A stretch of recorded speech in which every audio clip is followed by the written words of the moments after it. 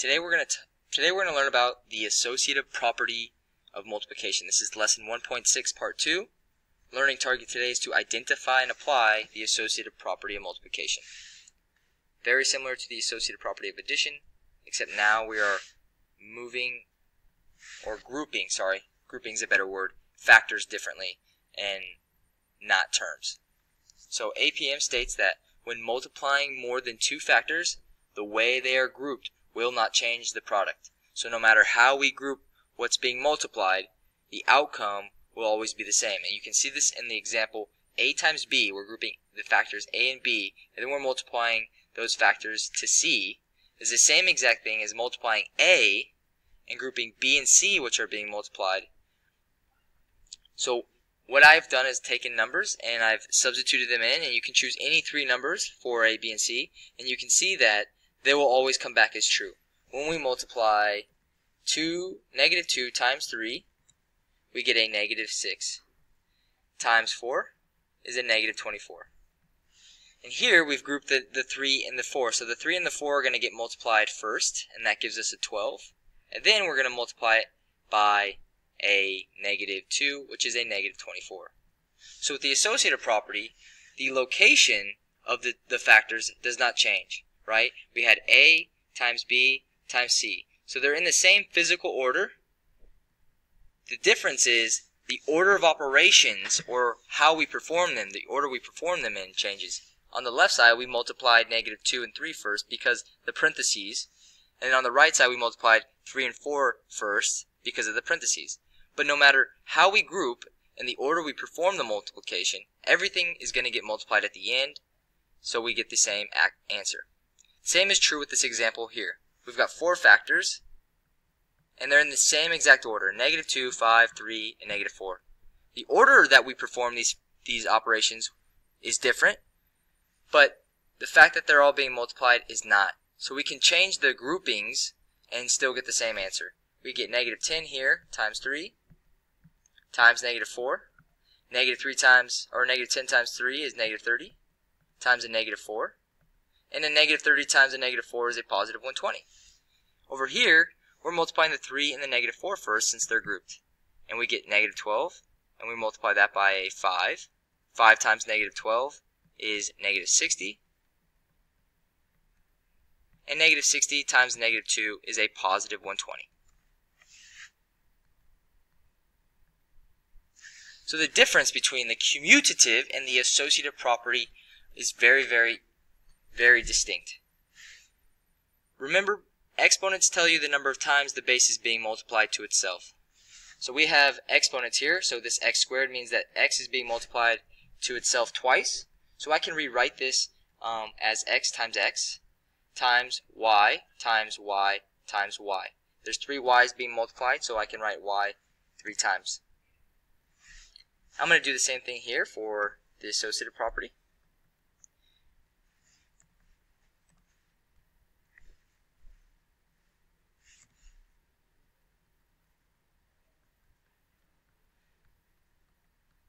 So here's where the real difference comes in.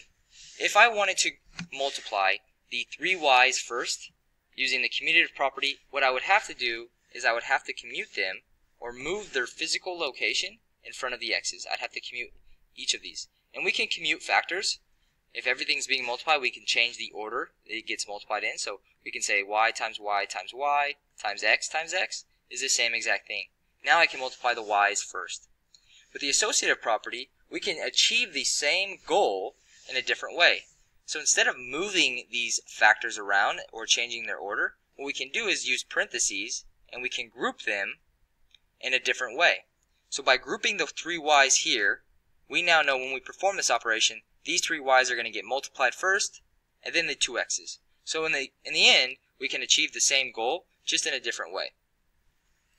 Now it's very important to note that Associative property means that you can group things that are being multiplied. Or you can group things that are being added. An example that or a non-example is when you take something that is being multiplied and you group it with something that's being added. So if you look here, we've got two terms, one term and two terms. And we've got three factors in the first term, three things that are being multiplied. We can group these three things in any way we want. And then in the, in the second um, term, we only have two factors, which there's no way to group two. You just they're just the way they are. You can put parentheses around them, but it doesn't change the group. The trouble becomes when we try to associate things that are being multiplied with things that are being added. So an example of that would be 5xy associating it with the 4 that's being added, a. So you can see the location of our, our numbers and variables are in the same spots, but we've associated some a factor of one term with a factor of another term, so we're, cha we're changing operations here. So this is a bad example of using the property incorrectly. So before we get into examples using this property, it's very important that we know how to rewrite expressions in expanded form. We're going to see a lot of exponents, so it's important that when we write this expression here, az squared plus d times r to the third power, when we expand it out, that we expand it out without changing the order.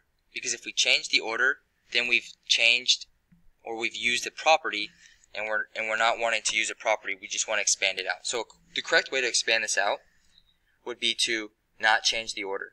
So we have az squared.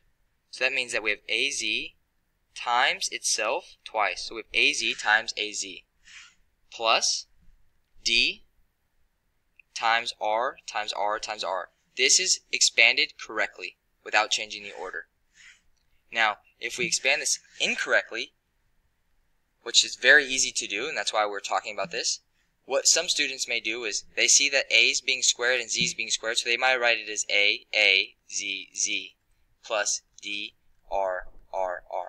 And you can see here that a, a, z, z is not the same thing as a, z times itself. A, a, z, z is using the commutative property of multiplication to change the order. This is actually a squared, z squared in the correct order. So it's important that we expand things in the proper order as we go through these proofs.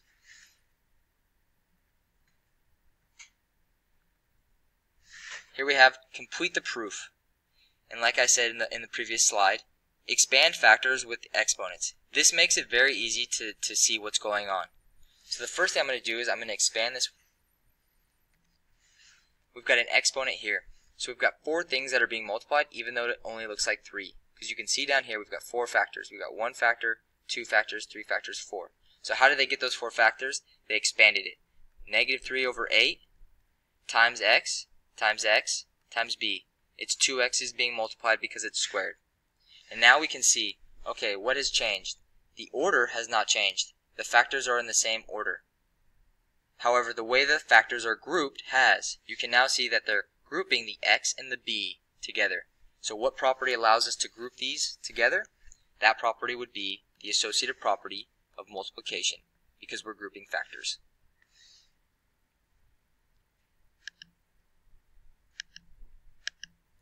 Here we have the expression 3 times negative 2 times 5 times 8 plus a.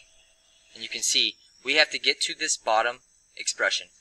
What do you notice differently about the bottom expression? Well, the order of the factors is the same. There's four factors here. One, two, three, four. The order of them is the exact same. 3, negative 2, 5, and 8. So the order is not changed. However, there's now two sets of parentheses, and you can see these two sets of parentheses. We've got one set, this larger set, and then we've got this smaller set inside the larger set. And so we've got two things that we need to do because you can only associate one thing at a time. So we, we need to associate um, either the smaller set first or the larger set. I'm going to go ahead and associate these three factors, negative 2, 5, and 8, this red set. So here we have, now we can write 3 times, and we can associate negative 2 times 5 times 8 plus a. So all I've done is associated these three factors, and I've made them almost one entire factor. Now they make up one factor. So we have two factors total in our first term. And now within that second factor, okay, we're going to associate again the 5 and the 8. So we can rewrite this as 3 times, we don't need to include the dot, we know it's multiplication, times negative 2 times 5 times 8 close that set, plus a. And now we've associated it, and we've gotten to the end where we need it to be. So these are the exact same. I've just rewrote it. So how did we get here? We associated things that were being multiplied again. Associative property of multiplication.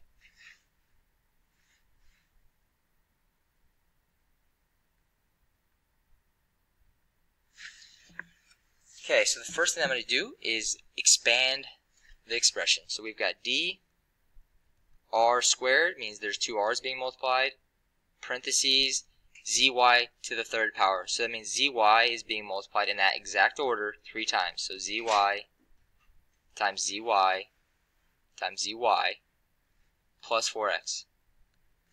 And you can see that the first step is saying we need to associate something that's being multiplied right? So we can look at the end, our end goal, and you can see the order, RR, ZY, ZY, ZY, plus 4, and this should say, this is incorrect, this should say X. The order has not changed. However, there's now two sets of parentheses.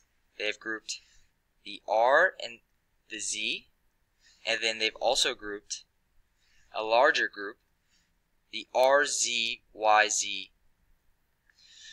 So let's go ahead and first start by grouping one of these two sets. Let's group the first four factors. So let's group the RZYZ. So we're going to take this and we're going to group those factors. So we have DR, and then we group this RZYZ. So we group it like this. And they can be rewritten just like this. And I'll write it one more time so that it's in black. So we have DR grouped with R, Z, Y, Z. So we've grouped these four factors, and then we leave the, the rest the same. So now we have one, two, three, four, five, six things being multiplied.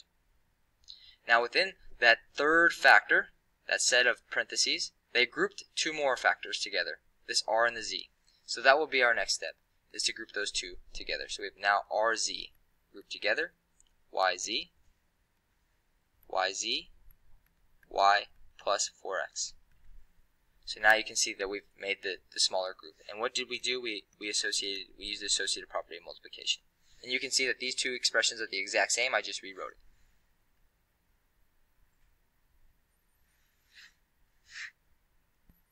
This is the last example today. So I'm going to go ahead and first expand this expression out. So we've got three n's being multiplied. That's an n. n, n, n times gp in that in that exact order being multiplied twice, so gp times gp minus 4x squared in that exact order twice, 4x times 4x times y. So I've just expanded this out, right? And now let's try to figure out what's going on. Is the order changed? Have they commuted anything? Let's see. There's two n's, three n's. So the n's have not changed location. The G has not. The P has not. The GP has not. So, so far, everything is in the same exact order. So it looks like they're just associating things. So how many times do we have to associate, or how many expressions are we going to have to rewrite to get three sets of parentheses? Well, if they're regrouping three times, then we're going to have to rewrite three expressions. So let's go ahead and rewrite the first expression. We can choose which group goes first. So our first expression can be rewritten as, if I group these three factors, n, g, and p, our expression can be written as n, n, grouping ngp, gp minus 4x minus 4xy. Okay, so I've rewritten everything. I've just grouped three factors. So that is associative property multiplication. And now we need to group something else. So we can either group the n and the g together, or we can group the 4xy. I'm going to elect to group the n and the g together. So now I'm going to group these two factors together. So now we can rewrite the expression as n, n, grouping n times g, p, grouped gp minus 4x, 4xy. That was the associative property of multiplication.